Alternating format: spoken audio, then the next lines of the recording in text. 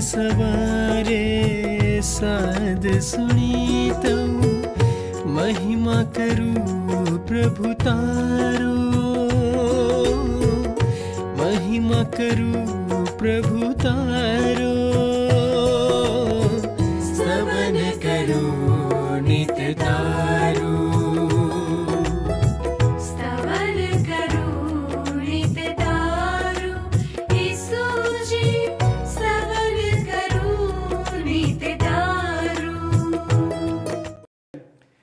સલામ દર્શક મિત્રો. હું માનું છું તમે આ કાર્યક્રમ નિહાળી રહ્યા છો, ત્યારે ખુશ અને આનંદિત હશો. વહાલા દર્શક મિત્રો, આ સમયે તમે ટ્રાન્સ વર્લ્ડ રેડિયો દ્વારા પ્રસ્તુત સ્તવન કાર્યક્રમ નિહાળી રહ્યા છો. અને હું આપ સર્વનો આ કાર્યક્રમમાં આવકાર કરું છું. આપણે આ કાર્યક્રમમાં સ્વર્ગ અને પૃથ્વીના રચનાર સર્વશક્તિમાન ઈશ્વરના જીવંત વચનોનો ક્રમવાર અભ્યાસ કરી રહ્યા છીએ. આપણે બધા જ મનુષ્યો ઈશ્વરની અદ્ભુત રચના છીએ. તેમણે જે બધું આ દુનિયામાં બનાવ્યું, તે બધું જ મનુષ્ય માટે બનાવ્યું છે. તમારા માટે, મારા માટે એ બનાવ્યું છે. આ દુનિયામાં જો તે કોઈની સાથે વ્યવહાર કે સંબંધ રાખવા માગે છે તો તે કેવળ આપણી સાથે જ રાખવા માગે છે. ચાહે તમે તેને માનો કે ના માનો, સમજો કે ના સમજો, પણ ઈશ્વર તમારા જીવનની કાળજી રાખે છે. એટલા માટે જ તો તેમણે આ દિવસ સુધી તમને અને મને જીવતાઓની વચ્ચે રાખ્યા છે. નહીં તો મનુષ્ય જીવનનો સો ભરોસો. આજે આપણે જીવતા છીએ, પણ આવતીકાલે આપણે જીવતા રહીશું કે નહીં તે આપણે જાણતા નથી. અને આ જીવન સમાપ્ત થયા પછી આપણે ક્યાં રહીશું? સ્વર્ગમાં કે નર્કમાં? તે પણ જાણતા નથી. મરણ જીવનની એક સચ્ચાઈ છે, પણ તેની અનિશ્ચિતતાને કારણે કોઈ તેનો સામનો કરવા તૈયાર નથી. લોકો દુનિયામાં ઘણા બધા કામોને માટે તૈયાર હોય છે. જુવાનો લગ્ન કરવા તૈયાર હોય છે. બાળકો અભ્યાસને માટે તૈયાર હોય છે. પરંતુ એક ચોક્કસ વાત માટે લોકો તૈયાર નથી અને તે તો છે અનંત જીવન. મનુષ્ય એક આત્મિક પ્રાણી છે. તે સદાકાળને માટે છે. તે મરણ પછી કોઈ બે જગ્યામાંથી એક જગ્યામાં હશે. કાં તો તે સ્વર્ગમાં હશે અથવા તો નર્કમાં હશે. પાપે મનુષ્યને સદાને માટે સ્વર્ગથી દૂર કરી દીધો છે. અને માટે જ તે મરણથી ભયભીત થાય છે. પરંતુ મનુષ્યમાં એક છે, પ્રભુ ઈસુ, જે મરણને પેલે પાર ગયા અને જીવન પ્રાપ્ત કર્યું. તે તો દરેક વાતમાં ઉત્તમ છે.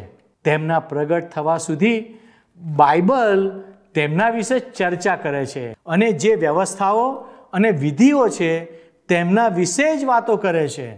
તે આપણને સર્વશક્તિમાન ઈશ્વરની પાસે જવા માટે યોગ્ય બનાવે છે.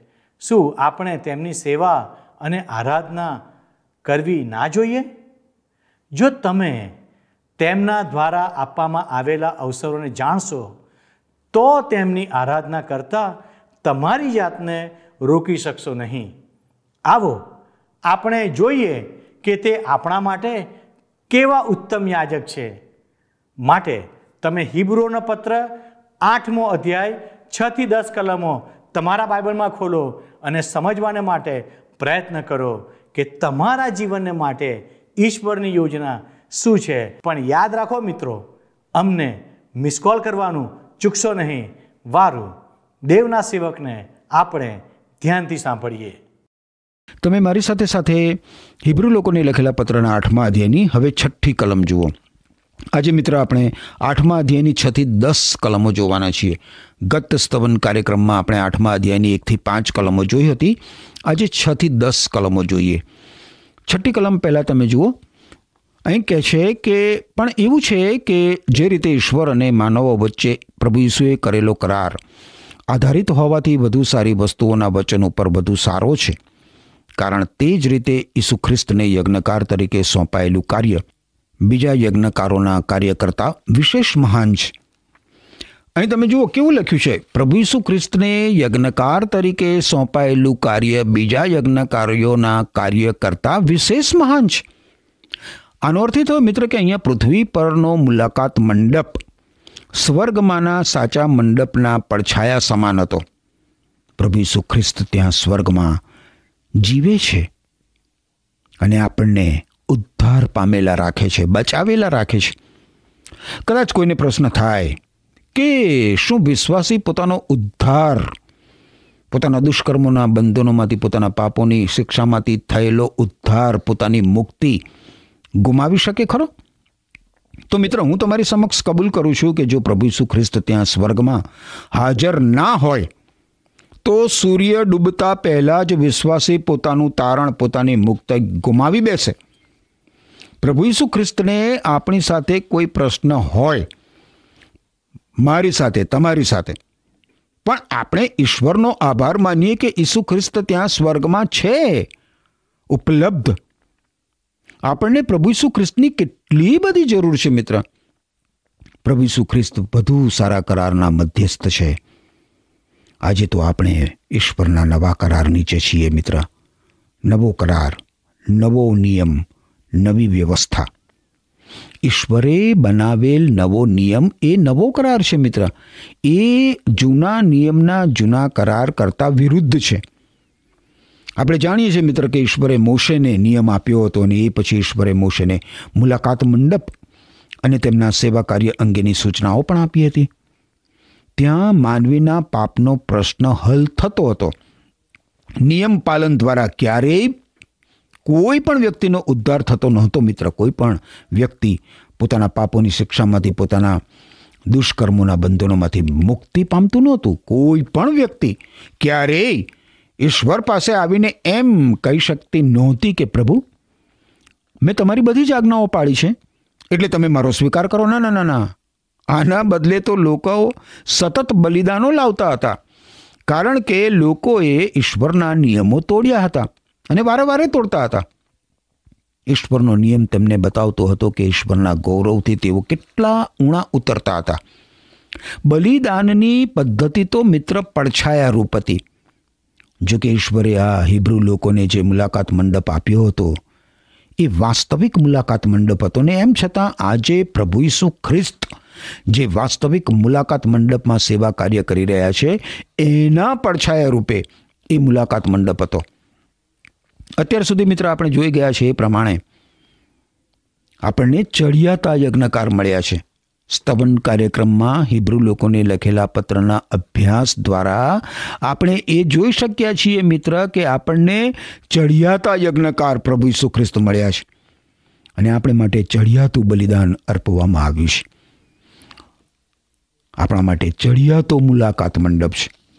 આ બધું મિત્ર ત્યાં વેદી ઉપર એકત્રિત થાય છે કારણ કે પ્રભુ ઈસુ ખ્રિસ્તમાં. આ ત્રણેય બાબતો છે. ઈસુ ખ્રિસ્ત ચડિયાતા, વધારે સારા યજ્ઞકાર છે, જે ત્યાં સ્વર્ગમાં આપણા માટે સેવા કાર્ય કરી રહ્યા છે.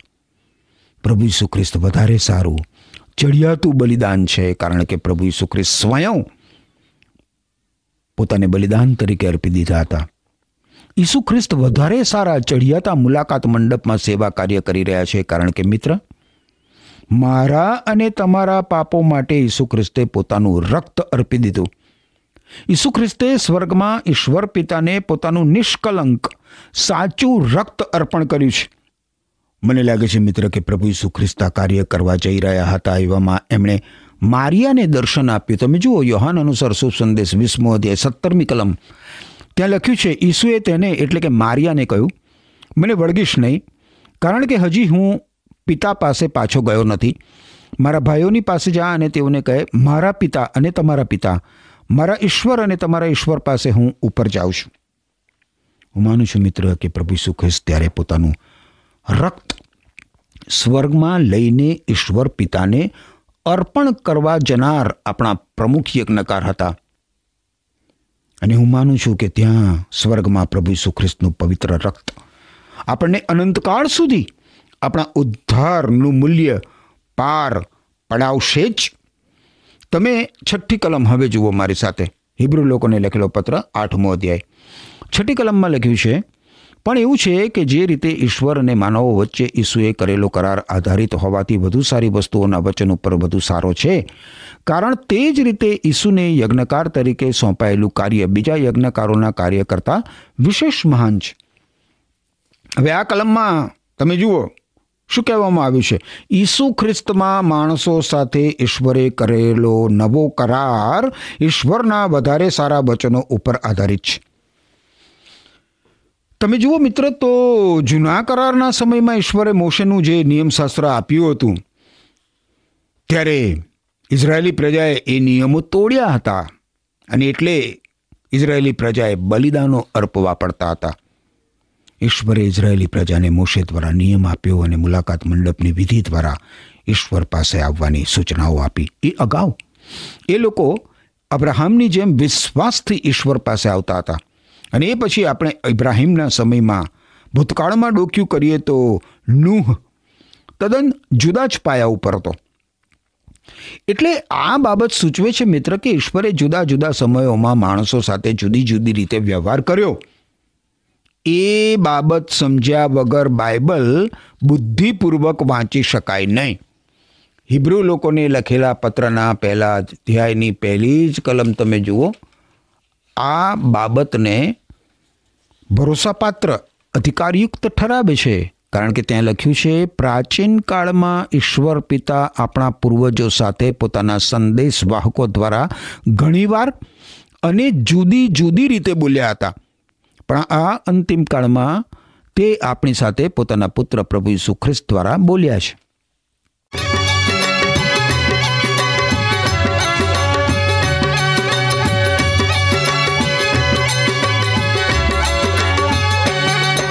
ઈશ્વર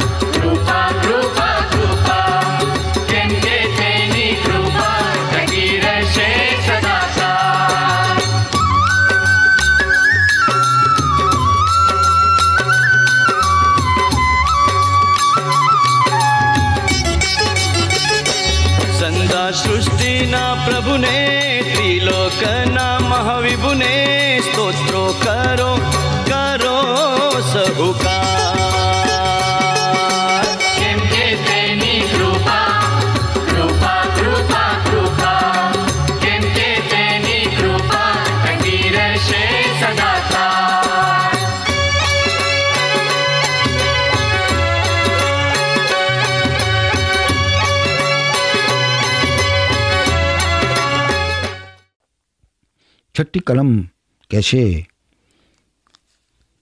કે ઈશ્વરે આપણી સાથે વધારે સારો કરાર કર્યો છે. અને ઈશ્વરના વધારે સારા અભય વચન ઉપર એ કરાર આધારિત છે. ઈશ્વરે જો કે બિન યહૂદી લોકો તરીકે આપણને તેમના ભાગીદાર બનાવ્યા છે. એમ છતાં તમે જુઓ મિત્ર, ઈશ્વરનું ઇઝરાયેલી પ્રજા સાથેનું કામ હજી પતી નથી ગયું. અને હજી વધારે સારા અભય વચનો ભવિષ્યમાં પ્રભુ ઈસુ ખ્રિસ્તના સહસ્ત્ર વર્ષીય રાજમાં ઇઝરાયેલી પ્રજા માટે પરિપૂર્ણ થવાના છે. આપણે મિત્ર જ્યારે જૂનો કરાર વાંચીએ છીએ, બાઇબલમાંનો જૂનો કરાર, ત્યારે એમાંથી એ હકીકત ઉડીને આપણી આંખે ચડે છે કે ઈશ્વર ઇઝરાયેલી પ્રજાને તેમના દેશમાં પાછી લાવશે જ લાવશે. મને લાગે છે ત્યાં સુધીમાં તો ઇઝરાયેલી દેશમાં વર્તમાન સમયમાં જુદા જુદા દેશોમાંથી યહૂદી લોકો પાછા ફર્યા છે. એ જૂના કરારની ભવિષ્યવાણીની સંપૂર્ણ પરિપૂર્ણતા નથી. ઉદાહરણ તરીકે તમે જુઓ તો બાઇબલમાંના જૂના કરારના વિભાગમાં યર્મે આ સંદેશ સંદેશવાહકનું પુસ્તક છે. એમાં કરવામાં આવેલી ભવિષ્યવાણી. તમે જુઓ યર્મયા સંદેશ વાહકનું પુસ્તક એકત્રીસમો અધ્યાય, આઠમી કલમ. ત્યાં શું કહે છે? જુઓ, હું તેઓને ઉત્તર દેશમાંથી લાવીશ ને પૃથ્વીના છેડાઓથી તેઓને એકઠા કરીશ. તેઓમાં આંધળા તથા લંગડા, ગર્ભવતી તથા પ્રસવનારી બધા એકઠા થશે, તેઓનો મોટો સમુદાય અહીં પાછો આવશે. હવે આ કલમમાં ઉત્તરનો દેશ સૂચવવામાં આવ્યો છે. ઉત્તરના દેશમાંથી અત્યારે તો યહૂદી લોકોનું નીકળવું અઘરું છે. પરંતુ જ્યારે ઈશ્વર હસ્તક્ષેપ કરશે, ત્યારે ઉત્તરના દેશમાંથી બહાર નીકળીને ઇઝરાયેલમાં જવું યહૂદી લોકો માટે સરળ બની જશે. હવે તમે આગળ દસમી અને અગિયારમી કલમ જુઓ. બાઇબલમાં જૂના કરારના વિભાગમાં યર્મયા સંદેશવાકનું પુસ્તક એકત્રીસમો અધ્યાય. તો એમાં કહેવામાં આવ્યું છે કે, હે પ્રજાઓ, યહોવાનું વચન સાંભળો. ને દૂરના દ્વીપોમાં તે પ્રગટ કરીને કહો કે જેણે ઇઝરાયેલને વિખેરી નાખ્યો, તે તેને ભેગો કરશે. ને ઘેટા પાળકની પેઠે તે પોતાના ટોળાને સંભાળશે. કેમ કે યહોવાહે યાકૂબનો ઉદ્ધાર કર્યો છે. ને તેના કરતાં બળવાનના હાથમાંથી તેને છોડાવ્યો છે તમે વર્તમાન સમયમાં મિત્ર, જુઓ તો યહૂદીઓ ઇઝરાયેલી દેશમાં ઈશ્વરના ઉદ્ધાર કાર્ય નીચે નથી. એ લોકો તો ઈશ્વરથી ઘણા બધા દૂર છે, પણ એ દિવસ આવશે. જ્યારે હિબ્રુ અને પત્રમાં કહેવામાં આવ્યું છે એ પ્રમાણે આ લોકો સાથેનો ઈશ્વરનો વધુ સારા અભયવચન ઉપર આધારિત વધુ સારો કરાર અમલમાં આવશે. યર્મેયા પ્રબોધકનું જે પુસ્તક છે બાઇબલમાં જૂના કરારના વિભાગમાં એના એકત્રીસમાં અધ્યાયની એકત્રીસથી તેત્રીસ કલમો તમે જુઓ મારી સાથે સાથે બાઇબલ હોય તો. ત્યાં કહે છે, યહોવા કહે છે, જુઓ, એવો સમય આવે છે, જે સમયે હું ઇઝરાયેલના વંશજોની સાથે તથા યહૂદાના વંશજોની સાથે નવો કરાર કરીશ. જે સમયે મેં તેઓના પૂર્વજોને મિશ્ર દેશમાંથી કાઢી લાવવા સારું તેઓનો હાથ પકડ્યો. તે સમયે મેં તેઓની સાથે જે કરાર કર્યો હતો તેના જેવો તે કરાર નહીં થાય. હું તેઓનો ધણી થયા છતાં તે મારો કરાર તેઓએ તોડ્યો, એવું યહોવા કહે છે. પણ યહોવા કહે છે કે, હવે પછી જે કરાર હું ઇઝરાયેલના વંશજોની સાથે કરીશ તે આ છે. હું મારો નિયમ તેઓના હૃદયમાં મૂકીશ, તેઓના હૃદય પટ પર તે લખીશ. હું તેઓનો દેવ થઈશ ને તેઓ મારા લોક થશે. બીજા શબ્દોમાં ઈશ્વર એમ કહે છે કે મેં અગાઉ મારો નિયમ એ લોકોને શીલા પાટી ઉપર લખીને આપ્યો હતો. પણ એ લોકો એનું પાલન કરી શક્યા નહીં. પરંતુ હવે તો હું મારો નિયમ એ લોકોના હૃદયની પાટી ઉપર લખીશ. ઈશ્વરે મિત્ર, હજી આ પળ સુધી તો ઇઝરાયેલી પ્રજા માટે આવું કર્યું નથી. અત્યારે ઇઝરાયેલી પ્રજા ઈશ્વર ગમ ફરેલી નથી. ઈશ્વરના આ વચન અનુસાર યહૂદી પ્રજા અત્યારે ઇઝરાયેલી દેશમાં પૂરેપૂરી નથી, પરંતુ એક દિવસ આ યર્મે આ પ્રબોધકની ભવિષ્યવાણી પૂરી થવાની છે. ચોત્રીસમી કલમમાં એ શું કહે છે, જુઓ. યર્મેયા સંદેશ વાહકનું પુસ્તક એકત્રીસમો અધ્યાય, ચોત્રીસમી કલમમાં લખ્યું છે વળી યહોવાને ઓળખો એમ કહીને તેઓ હવે પછી દરેક પોતાના પાડોશીને તથા દરેક પોતાના ભાઈને શીખવશે નહીં. કેમ કે નાનાથી તે મોટા સુધી તેઓ સર્વ મને ઓળખશે. હું તેઓના અન્યાયની ક્ષમા કરીશ ને તેઓના પાપોનું સ્મરણ ફરી કરીશ નહીં એવું યહોવા કહેશ તમે જુઓ મિત્ર, તો હિબ્રુ અને પત્રનો લેખક આ વાત કરે છે. નવો કરાર. વધુ સારા વચનો ઉપર આધારિત એવો નવો કરાર. વધારે સારા વચનો ઉપર આધારિત, વધારે સારા કરારનો મધ્યસ્થ. એ તો પ્રભુ ઈસુ ખ્રિસ્ત પોતે છે, મિત્ર. તમે જુઓ હવે સાતમી કલમ. મારી સાથે સાથે હિબ્રુઓને લખેલો પત્ર આઠમો અધ્યાય. સાતમી કલમ કહે છે કે જો પ્રથમ કરારમાં કંઈ જ ખોટું ન હોત, તો બીજા કરારની જરૂર ન પડત. આ બતાવે છે, મિત્ર, કે પ્રથમ કરાર પૂરતો નહોતો, જેના કારણે વધારે સારા કરારની જરૂર પડી. જો કે જૂનો કરાર કંઈ ખોટો નહોતો. આઠમી કલમ કહે છે, પરંતુ ઈશ્વર પોતાના લોકોનો દોષ કાઢતા કહે છે, ઈશ્વર કહે છે કે એવા દિવસો આવે છે જ્યારે હું ઇઝરાયેલી લોકોની સાથે તથા યહૂદાના કુળની સાથે નવો કરાર કરીશ. ઈશ્વર જૂના કરારનો દોષ નથી કાઢતા, મિત્ર. એ તો પોતાના લોકોનો દોષ કાઢે છે. ઈશ્વરના કરારમાં કશું જ ખોટું નહોતું. ઈશ્વરના નિયમમાં કશું જ ખોટું નથી. ખોટું તો મારા અને તમારામાં છે. ઘણું બધું ખોટું છે. તમે કે હું મિત્ર ઈશ્વરનો નિયમ પાળવા સમર્થ નથી. ઈશ્વરના નિયમની માગણીઓ સંતોષવા જેટલી ક્ષમતા કોઈ જ માણસમાં નથી. ઈશ્વર કહે છે કે એવા દિવસો આવે છે જ્યારે હું ઇઝરાયેલી લોકોની સાથે તથા યહુદાના કુળની સાથે નવો કરાર કરીશ. યર્મિયા પ્રબોધકની ભવિષ્યવાણીમાં, એ જ હકીકત તો આપણે હમણાં જોઈ ગયા. બાઇબલમાં મિત્ર ઈશ્વરના અન્ય સંદેશવાહકોના પુસ્તકમાં પણ તમને એ જ હકીકતો જોવા મળશે. હવે આગળ નવમી કલમ જુઓ. હિબ્રુ લોકોને લખેલો પત્ર આઠમો અધ્યાય શું કહે છે? પ્રભુ કહે છે, તેમના પૂર્વજોને હું હાથ પકડીને ઇજિપ્તની ભૂમિમાંથી, મિસર દેશની ભૂમિમાંથી બહાર કાઢી લાવ્યો. ત્યારે મેં જે કરાર તેમની સાથે કર્યો તેના જેવો એ કરાર નહીં હોય. મેં તેમની સાથે કરેલા કરારને તેઓ વિશ્વાસુ રહ્યા નહીં.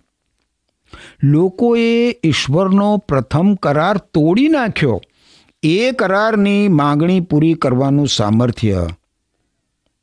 એ કરાર લોકોને આપી શક્યો નહીં. હવે જુઓ દસમી કલમ. હવે આવનાર દિવસોમાં હું ઇઝરાયેલી લોકો સાથે આ કરાર કરીશ એવું પ્રભુ કહે છે. હું મારો નિયમ તેમના મનમાં મૂકીશ અને તેમના હૃદયો પર તેમને લખીશ. હું તેમનો ઈશ્વર થઈશ અને તેઓ મારા લોક થશે. નવો કરાર લોકોના હૃદય પટ ઉપર લખાશે. લોકોના મનમાં મૂકવામાં આવશે. પથ્થરની શિલાપાટી પર નહીં, જેથી લોકો એને આધીન થઈ શકે. હવે મિત્ર, ઈશ્વરે માણસો સાથે કરેલા જૂના તેમજ નવા કરાર વચ્ચેનો ભેદ આપણે જરા સમજી લઈએ. કોઈ વ્યક્તિના ફોટા અને ખરેખર વ્યક્તિ વચ્ચેનો તફાવત અને સરખાપણું બતાવવાની જેમ હિબ્રુ અને પત્રનો લેખક મોશે દ્વારા આપેલા ઈશ્વરના કરાર અને પ્રભુ ઈસુ ખ્રિસ્તમાં ઈશ્વરે કરેલા કરાર વચ્ચેનો સંબંધ બતાવે છે. લેખક પુરવાર કરે છે કે જૂનો કરાર પ્રભુ ઈસુ ખ્રિસ્તના પડછાયા રૂપ હતો. જૂનો કરાર મોશે દ્વારા અપાયો હતો, જ્યારે નવો કરાર પ્રભુ ઈસુ ખ્રિસ્તમાં અપાયો છે. જૂનો કરાર એમાં પાપના પ્રાયશ્ચિત માટે બલિદાનો લાવવા પડતા હતા, જ્યારે નવા કરારમાં પ્રભુ ઈસુ ખ્રિસ્તે પોતે જ આપણા માટે બલિદાન આપી દીધું છે. પ્રભુ ઈસુ ખ્રિસ્ત આપણે માટે મૃત્યુ પામ્યા છે. જૂના કરારમાં ભૌતિક મંદિરમાં આરાધના ભક્તિ ઉપર ભાર મૂકવામાં આવતો હતો. જ્યારે નવા કરારમાં તમે જુઓ, વિશ્વાસીઓના હૃદયમાં પ્રભુ ઈસુ ખ્રિસ્ત ઉપર વિશ્વાસ કરનાર વિશ્વાસીઓના હૃદયમાં પ્રભુ ઈસુ ખ્રિસ્તના શાસન ઉપર ભાર મૂકવામાં આવ્યો છે. ઈશ્વર સીધે સીધા મિત્ર આપણા જીવનોમાં કાર્યરત થાય છે. જૂનો કરાર તો એક પડછાયો હતો જ્યારે નવો કરાર એક વાસ્તવિકતા છે. નવો કરાર ક્ષણ ભંગુર નથી, એ તો કાયમી છે, સાર્વકાલિક જૂના કરારમાં તમે જુઓ તો સીમિત વરદાનો હતા, નવા કરારમાં તો અસીમિત વરદાનો છે મિત્ર. આપણે ઈશ્વરને, આપણને આપેલા વરદાનો ઉપર ભરોસો રાખી શકીએ છીએ.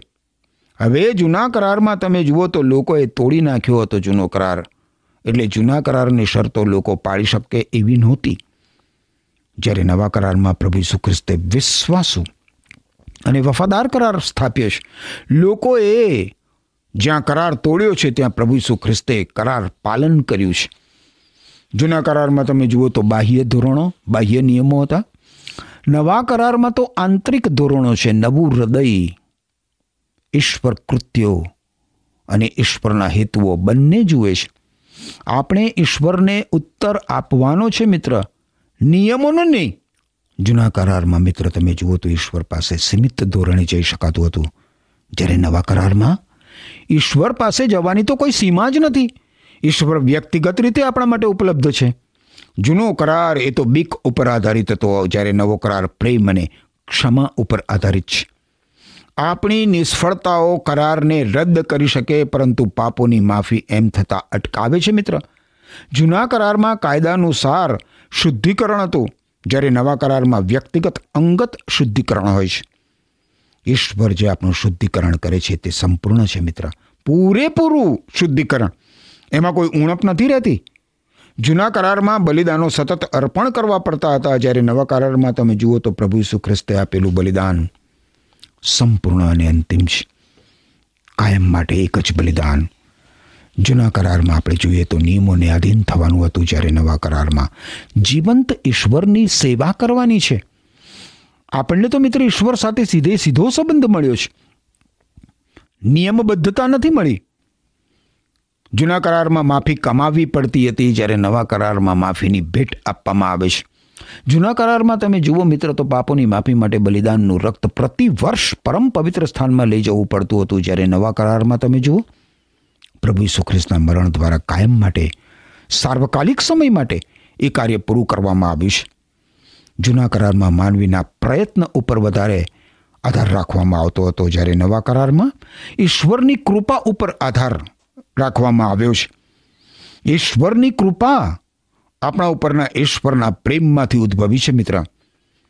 જૂનો કરાર અમુક લોકો માટે જ ઉપલબ્ધ હતો, જ્યારે નવો કરાર સમગ્ર માનવજાત માટે ઉપલબ્ધ છે. તમારા માટે પણ છે, મિત્ર. વહાલા દર્શકો, શું તમારું હૃદય પ્રભુ ઈસુની આરાધના કરવા માટે ઉત્તેજિત છે?